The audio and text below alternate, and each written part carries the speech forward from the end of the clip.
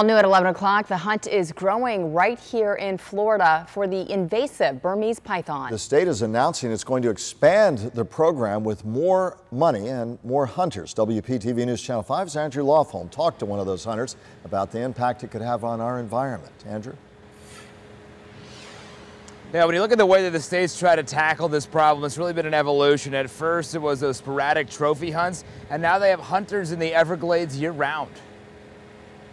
The hunt recently has been good for trapper Mike Kimmel. Coming off of breeding season, hatchlings are leaving the nest and the moms are hungry. I'm catching them left and right. Uh, just last week, I caught like 15, I think, of three or four days of hunting. Earlier this year, Kimmel caught the landmark 2,500th python since the program started in 2017.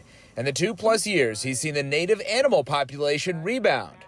I'm catching less pythons than I was last year. I'm catching smaller pythons than I was last year and I really feel we are controlling the spread. The state wants even more. That's great. They're doubling the hunters to 50 and increasing the budget, which overall Kimmel supports. They're paid minimum wage hourly and a bounty per snake. I feel we should boost the hourly pay a little bit to, to make those 25 we already have full time before we expand our numbers. Kimmel has been able to monetize his craft outside of the hunt, like selling skins. All right.